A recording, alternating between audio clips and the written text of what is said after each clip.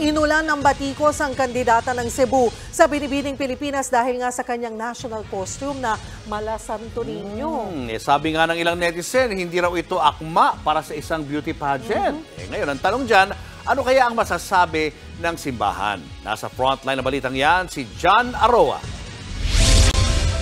May korona, gintong setro at bola, pulang kapa na sinamahan ng kulot na buhok ng kandidata.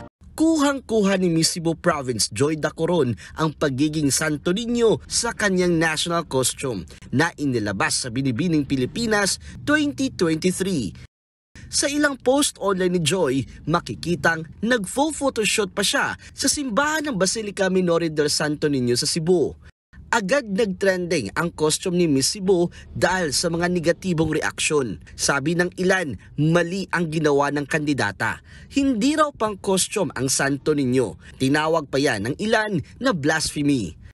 Pinuntahan ng News 5 ang pamunuan ng Basilica Minore del Santo Niño. May mga larawan din kasi si Miss Cebu na kasama ang ilang opisyal ng simbahan gaya ni Bishop Robin Labajo. Sa text message sa News 5, sinabi ni Bishop Labajo na ang paalam lang ng kandidata ay gagamitin lang na background sa pictorial ang simbahan ng Cebu. Hindi raw nila alam na gagamitin palang national costume ang vestment ng Santo Niño.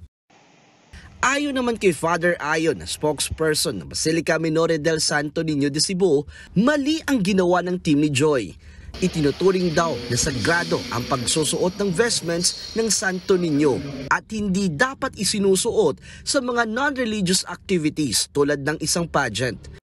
Uh, we ask for discernment no, in every action we do, no, especially it it appeals to our faith no, uh, to avoid conflict and misunderstanding in our sa kwan po natin, sa faith expression po natin yung appropriateness of the vestment and of the appropriateness of the event also will be considered in the discernment process sa susunod po sa susunod po na mga na mga events na para ma-avoid po natin ang mga uh, nangyari ngayon na may mga misunderstanding, no? Missibuk po natin for Binibining Pilipinas.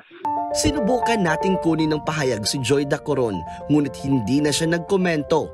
Nakikipag-ugnayan naman ang Binibining Pilipinas sa team ni Joy, kaugnay sa isyo. Nagbabalita mula sa frontline, John Arua, News 5.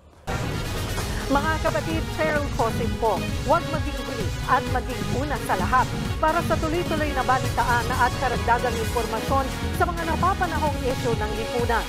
Tumutok lamang at mag-subscribe sa social media pages ng News 5.